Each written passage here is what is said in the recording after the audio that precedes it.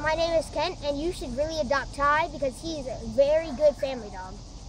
Hi, my name is Declan, and you should adopt Ty because he is great with families and he loves to play outside. Hi, my name is Haley, and Ty's a great dog because he loves to be outside and you'll never get bored when you're with Ty. Hi, my name is Amanda. Ty's a great dog because he's super sweet and nice and he knows how to have a lot of fun. Hi, my name is Anna, and I love Ty because he loves bass and he knows a lot of tricks. Hi, my name is Sadie. I think someone should adopt Ty because he's very cooperative and he loves taking walks. Come to the Humane Society